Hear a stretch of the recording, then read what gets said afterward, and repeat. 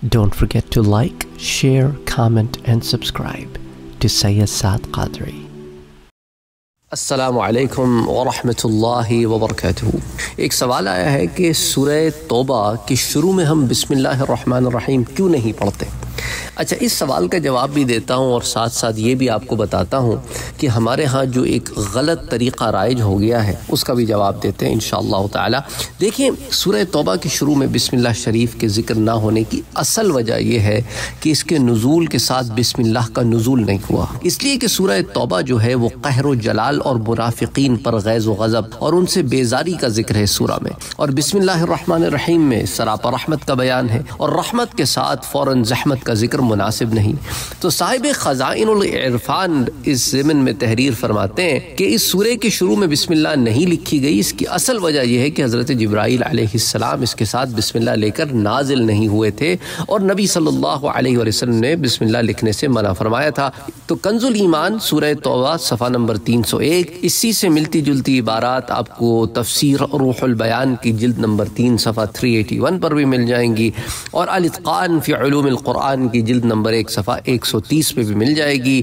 اچھا اور رہا یہ کہ سورہ توبہ کے شروع کرتے وقت بسم اللہ کا پڑھنا تو حکم یہ ہے کہ اگر آپ سورہ انفال سے پڑھتے ہوئے آ رہے ہیں تو سورہ توبہ کی ابتدا میں آپ بسم اللہ نہیں پڑھیں گے۔ اس کے علاوہ ہر سورہ جب ختم ہوگی تو دوسرے سورہ کے شروع میں بسم اللہ پڑھیں گے آپ۔ جیسے اب آپ نے قل اعوذ برب الفلق سورہ پڑھی، اب سورت الناس پڑھنے سے پہلے آپ بسم اللہ الرحمن الرحیم پڑھ کے سورت الناس پڑھیں گے۔ لیکن سورت الانفال کے بعد جب آپ سورہ توبہ میں آئیں گے تو چونکہ آپ نے سورت الانفال میں بسم اللہ پڑھ لی ہے، تو آپ سورہ توبہ کے شروع میں بسم اللہ نہیں پڑھیں گے، بلکہ آپ روانی سے پڑھتے چلے جائیں گے۔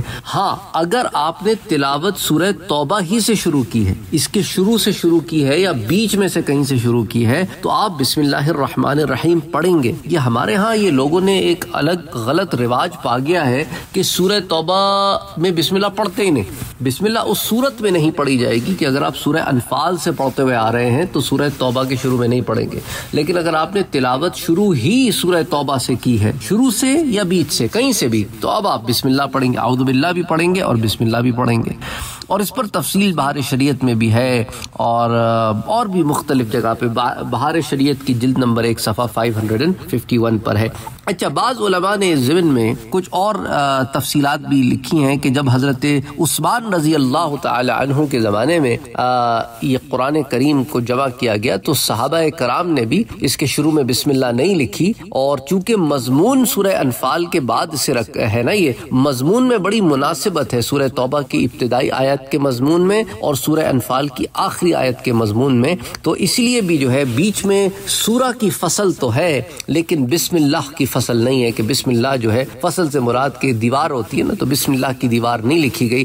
تو اگلی صورت اس کو الگ ہی بتایا گیا تاکہ دونوں کو ایک صورت نہیں بلکہ الگ الگ صورت ہی سمجھا جائے۔ تو اسی بنا پر پھر حضرات فقہ نے فرمایا کہ جو شخص اوپر سے سورہ انفال کی تلاوت کرتا آیا ہو اور سورہ توبہ شروع کر رہا ہو تو بسم اللہ الرحمن الرحیم نہ پڑھے، لیکن جو شخص اسی صورت کے شروع سے یا درمیان سے اپنی تلاوت شروع کر رہا ہو اس کو چاہیے کہ بسم اللہ الرحمن الرحیم پڑھے اور جیسا میں نے آپ کو بتایا کہ وہ لوگ جو نا واقف ہیں، جو آدھی بات سمجھتے ہیں، وہ یہ سمجھتے ہیں کہ سورہ توبہ کے شروع میں کسی حال میں بھی بسم اللہ پڑھنا جائز نہیں ہے، یہ غلط ہے۔ تو اس کی تصحیح کر لے تو امید کرتا ہوں میں کبھی ایک ہی بات دو دو تین تین بار اس لیے ریپیٹ کرتا ہوں۔ ایک تو یہ ہے کہ وہ لوگ جنہوں نے کہیں اور مس کر دیا ہو، ان کو بھی یہ بات واضح ہو جائے۔ بعض لوگ فوراً چیزوں کو پک کر لیتے ہیں۔ بعض لوگ دو تین دفعہ میں لوگ چیزوں کو پک کرتے ہیں۔ تو اسی لیے میں دہراتا ہوں، بعض لوگ اسے اریٹیٹ ہو جاتے ہیں کہ بھائی آپ ایک ہی بات دو دفعہ کیوں بیان کرتے ہیں؟ اس کی وجہ یہ ہے کہ تاکہ کسی نے کہیں مس کر دیا ہو تو کہیں پک کر لے۔ کچھ لوگ تواتر سے پک کرتے ہیں کہ ایک ہی چیز ملٹیپل ٹائمز اگر کہی جائے تو انہیں رجسٹر ہوتا ہے دماغ میں کہ یہ جو ہے ایمفیسز والی چیز ہے، اس کو ہم نے سمجھنا ہے اور یاد رکھنا ہے۔